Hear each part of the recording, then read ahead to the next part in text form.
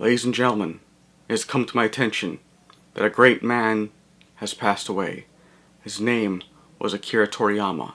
He was a creator of such manga as Dr. Slump and Dragon Ball as well as Dragon Ball Z. The latter was popular, globally popular, that left a legacy of all kinds, of all sorts of media.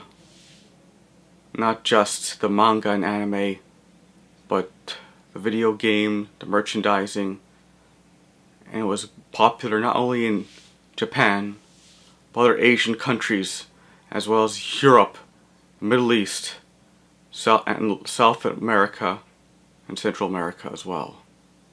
I'm sure, yes, even Africa, some regions of Africa as well.